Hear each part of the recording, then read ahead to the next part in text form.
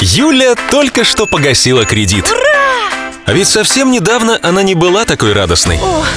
Три разных кредита из трех разных банков. Большие платежи. Разные даты погашения. Вспоминать жутко. А помог ей новый кредит, только правильный. И под небольшой процент, всего от 9,9%.